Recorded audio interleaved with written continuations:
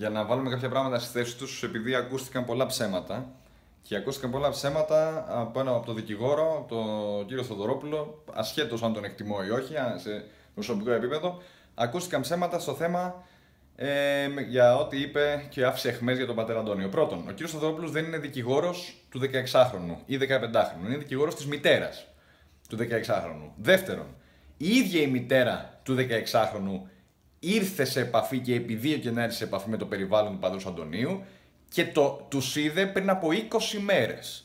Πριν από 20 μέρες, με δική της πρωτοβουλία, συναντήθηκε με άνθρωπο του πατρός Αντωνίου, ενώ αρχικά τον καλούσε τον ίδιο τον πατέρα Αντώνιο να πάει ο ίδιος στο Βόλο.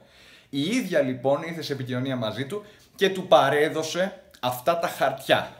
Επίσημα. Του τα παρέδωσε. Και πώς το έκανε αυτό, επειδή εδώ και πολλούς, πολύ παραπάνω μήνες πήγε το παιδί της, πήγε ο γιος της, το φερόμενο ως θύμα, ε, ο οποίος είχε βγάλει βίντεο, είχε γράψει επιστολές, τα είχε αποστείλει στον πατέρα Αντώνιο. Επίσης υπάρχει και βίντεο που κρατάει τις επιστολές αυτές στο χέρι του.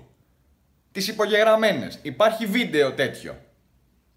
Λοιπόν, δεν ξέρουμε τι μεσολάβησε μέσα σε 20 μέρες, πάντως δεν είναι τρελή ούτε ο πατέρας Αντώνιος, ούτε οι δικηγόροι τους να πάνε να καταθέτουν πλαστά έγγραφα. Το εάν τώρα τα παρέδωσε πλαστά η συγκεκριμένη γυναίκα, το λόγο αυτόν δεν το κατανοώ. Αλλά ότι υπάρχουν αποδείξεις περί του ραντεβού, περί του σκοπού του ραντεβού, είναι ατράνταχτες. Οπότε να μην εκτίθεται ο συνήγορος της μητέρας ξαναλέω και όχι του 16χρονου, έτσι, και να κάνουν υπομονή.